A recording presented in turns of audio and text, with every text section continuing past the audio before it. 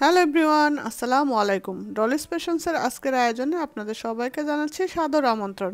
আজকের পর্বে আপনাদের সাথে শেয়ার করব সাবুদানা এবং চিয়া সিডস দিয়ে একটা মজার শরবত রেসিপি আর এই শরবত বা ডেজার্টটা সবারই পছন্দ হবে। আর এই গরমে এত মজার একটা রেসিপি যদি একবার বানিয়ে না খান, তাহলে অনেক কিছু মিস করে ফেলবেন। তো চলুন চলে যাই আমরা এই মজার রেসিপিটা কীভাবে তৈরি করলাম। সেটাই আজকে আপনাদের সাথে শেয়ার করব, যেন আপনারা বাসায় অতি সহজেই তৈরি করে নিজেরা পরিবারের সবাইকে নিয়ে এনজয় করতে পারেন। তো এই মজার রেসিপিটা তৈরি করার জন্য আমি প্রথমে এখানে প্রায় দেড় লিটারের মতো দুধ জাল দিয়ে ঘন করে নিয়েছি। তারপর এখানে চিনি দিয়ে আরও কিছুক্ষণ জাল দিয়ে ঘন করে নিচ্ছি।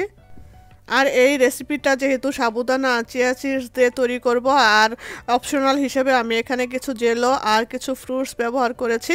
আপনারা যদি জেলোর রেসিপি দেখতে চান, তাহলে আমার ফালুদা রেসিপি ভিডিওটা দেখে আসবেন। ওখানে আমি শেয়ার করেছি ডিটেলসে কীভাবে আমি জেলো পুডিং ব্যবহার করি মানে তৈরি করি।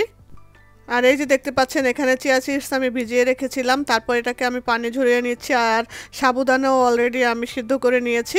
এখন তৈরি করার পালা যে মূল ডেজার্টটা আমি কীভাবে মানে মূল মিশ্রণটা কীভাবে তৈরি করব, খুবই সহজ এবং খুব অল্প সময়ে আপনারা এই মজার শরবত বা এই ডেজার্টটা তৈরি করে ফেলতে পারবেন। এই তো এখন আমি সিয়া সিডস এবং সাবুদানা দিয়ে যে শরবতটা তৈরি করব, সে, সেই শরবতের সমস্ত উপকরণগুলো আমি হাতের কাছে নিয়ে নিয়েছি।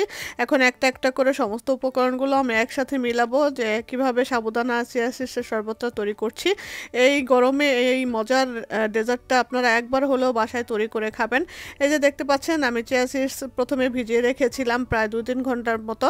তারপরে পানি ঝরিয়ে নিয়েছি, সেটাকে আগেই মিলিয়ে নিলাম ঘন করে জাল দিয়ে রাখা দুধের মধ্যে। তারপর দিয়ে দিলাম সাবুদানা। সাবুদানা এখানে আমি প্রায় কোয়ার্টার কাপের মতো সিদ্ধ করে নিয়েছি। আর সিয়া সিডসও আমি হাফ কাপের মতো নিয়ে নিয়েছিলাম। আর এখানে আমি বিভিন্ন ধরনের ফ্রুটস দিয়েছি। বেশি রকম না, এটা আমার পছন্দ মতো। আমার মতো এই যে ফ্রুটসগুলো দিতে হবে এমন কোনো কথা নেই। আপনারা আপনাদের হাতের কাছে থাকা যে কোনো ধরনের ফ্রুটস দিয়ে এই ডেজার্টটা তৈরি করতে পারেন। আমি এখানে দিয়েছিলাম দুই কালারের আঙ্গুর, তারপর দিয়েছিলাম আপেল। আর আমি পছন্দ মতো ঘরে থাকা যে জেলো ছিল আমার ছেলের জন্য কিনে নিয়ে আসছিলাম, সেগুলো দিয়েছি। আর আমি তো আগেই বলেছি যে জেলো পুডিং ব্যবহার মানে তৈরি করার রেসিপি আমার ফালুদার ভিডিওতে দেওয়া আছে, সেখান থেকে দেখে নেবেন।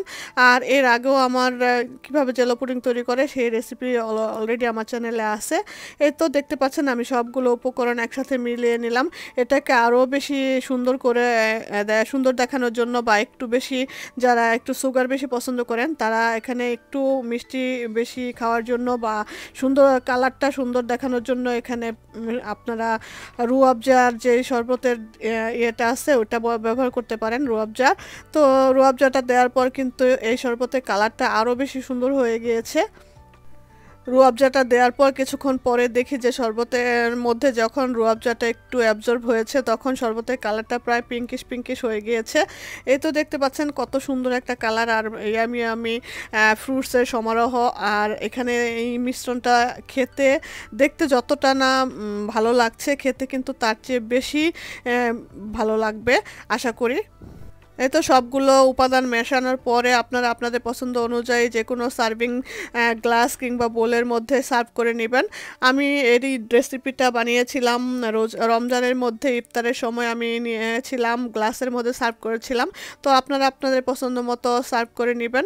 তো কেমন লাগল আমার আজকের এই সিয়াসিডস এবং সাবুদানার রেসিপিটা বা ডেজার্টটা যদি ভালো লেগে থাকে তাহলে অবশ্যই লাইক কমেন্ট এবং শেয়ার করতে ভুলবেন না। আর ভিডিওতে নতুন হয়ে থাকলে চ্যানেলটাকে সাবস্ক্রাইব করে পাশে পাশে থাকা বেল বাটনটাতে ক্লিক করে রাখবেন এইরকম মজার মজার রেসিপি ভিডিও পাওয়ার জন্য। আর যারা অলরেডি সাবস্ক্রাইব করে আমার চ্যানেলের পাশে আছেন, তাদের জন্য রইল প্রাণ ঢালা শুভেচ্ছা।